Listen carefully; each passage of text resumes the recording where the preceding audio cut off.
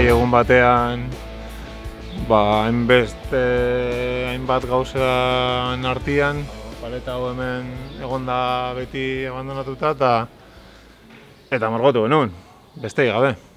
Eta gero torri izan handi bi egunetara, uste dut, garai hartan handi pixkat gehiago aguentatzen zuten, eta zentruratu zuten ez, ba, gero berriro egin genuen beste bat eskua luzatuz, eta ikusi genuen hori ere aia beinta berri zentzuratzen zutela, eta orduan ikusi genuen ba, ba izpilu adirazi nahi dugun edo zabaldu nahi dugun eztabaidarako oso ikur ona sala horregatik jarraitu dugu eta gure usterako, ez genean, ia eun.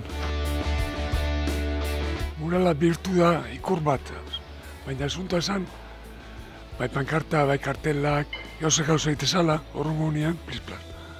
Inun garai gabe, inun eztabaidik gabe, Gero jarrez zuen ze batzuk, tablero batzuk, eta jende morruztu bertu nara. Eta kartela gaina ez, egozen kartel, baizik neurri batzukin.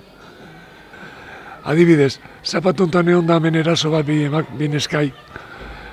Hori normal izango zen gaurko konzentrazioak kartela jartze kalien. Ez du kartelik. Hori nik uste pixkat, danago azapein bede, baina normala zen kartela jartzea, ba ez du kartelik eta eraso batean da bimakumei. Eta hortako ere, PNV esatezun bera, permiso bat ez deitu, eta ez konsejalai, arkitektuak esan berzion, bai edo ez, eta segun jartzen den.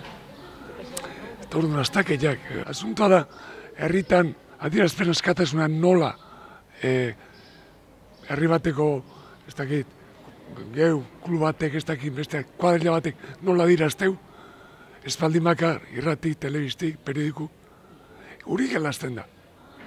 Eta nik uste gure borroka pixkat hori izan dela, muralen bidez. Ez da izan bakarrik e, zumaiko gaia. EAJ gondan herri askotan berdina gertatu da. Donostin, Tolosan, Arrasaten, Zarautzen, hortan e, ni pentsatzen da goiko, goiko asuntoa direla. Nere, nere ditziz, da kontrol soziala. Leheno esan dut behin eta berriz, nahi, nahi gaituzte pizkat, eta bildurra dakaten, nahi dute gizartea kontrolatu eta hau ba, beste espresio da.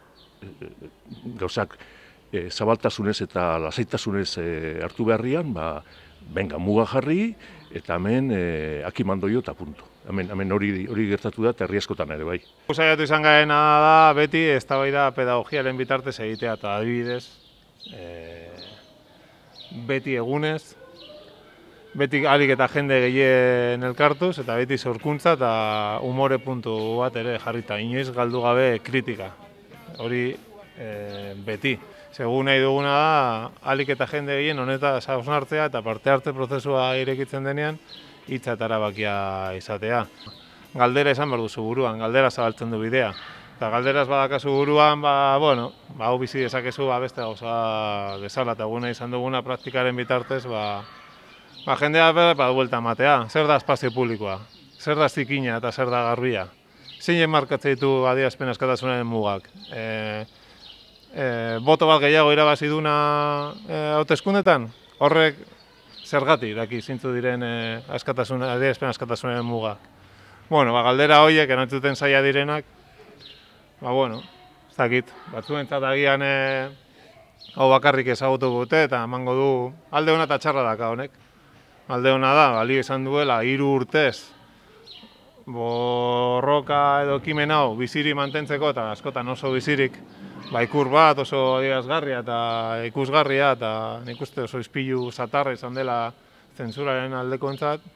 Baina bestetik ere beste batzuk agian mugatu dute, de, bueno, hau pareta honen inguruko borroka ezaetek, eta inondik inora, gu ez gara jaio e, pareta margotzea, ale gehiago, ni aurretik ez nun iniz mural bat e, horrela margotu, hemen ikasi dut eta hemen ibili gara.